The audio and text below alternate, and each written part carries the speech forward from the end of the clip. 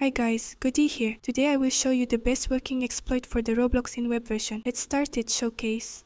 The first step is to download the Redeemer v3 from the link in the description. After you extract it, open the Redeemer. We'll find opener.bat and server.py. The opener.bat file and then when all the requirements are installed, you can close it. Because when you open the teleporter game, the hack has to be closed. Now go in the teleporter game, you will find the link for it in the description. You will find a list of supported games here. Remember that in order to make this work, need a tool in your inventory. You can copy the game ID like I am showing you. Then go back to the Roblox, press Ctrl plus V and paste. After you join to game, game make sure you have the tools in your inventory. Go back to the Redeemer folder and open the opener, the bat file. After you open it, you will have to press enter and as you can see it's injecting into tool. After it's injecting to open the menu, you just have to equip the tools and as you can see it works.